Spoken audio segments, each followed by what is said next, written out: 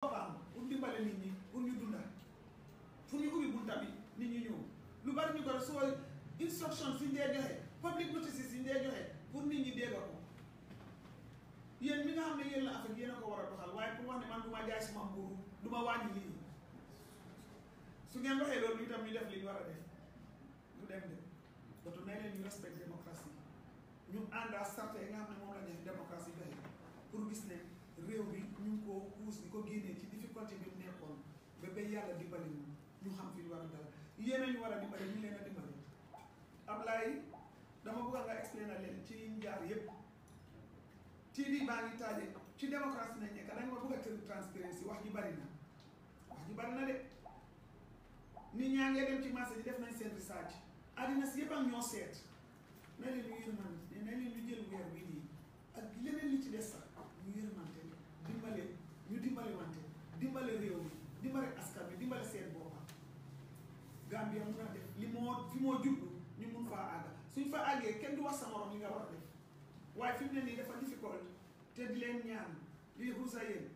ñu respect the rights of government itam ñu ngi leen a respect ñu ngi leen a recognize li ñu war a def waaye respect bu leen kàddu nguur gi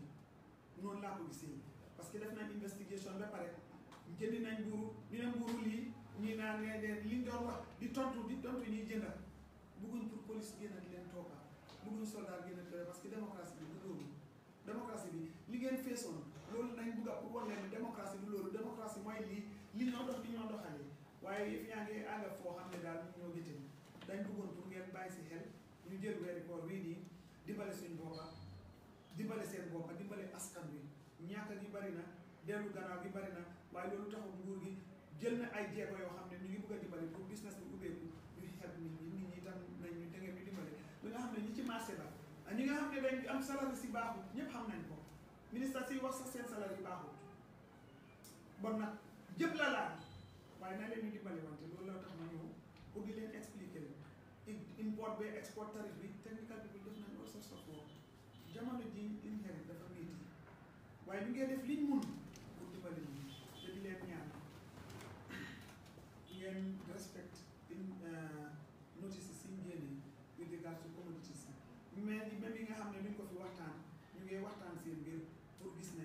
nañ dimbali Gambia mu mun a taxawal ni mu bugg taxaw ni mu buggee waaye mënu koo def fekk bokkuñ koo yéen parce que wecceeku bi ñun ñoo war a ko def ñun ñoo yéen a ko bokkaat bon nag ñun ñëpp ñoo war a taxaw pour gis ne wecceeku bi def nañ ci ay sarto yoo xam ne ñëpp dinañ mën a am jàmm ci biir réew mi ñu dem ndànka xaaral ma gaawoon du jël yëpp waaye nga dem ndànka ndànka di ndànka di bind op ba falaatoo parce que wàññi nañu bari léegi maa ngi leen doon nuyu di leen gërëm nit dama bari liggéey maa ngi leen a bàyyi ak technical people yi ngeen waxtaan ngeen respecté du xuloo du xeex pour ñu déggoo ngeen gënandikoo la nga xam ne instructions yi def dañ koo respect da ngeen am pour jël ko ngeen respect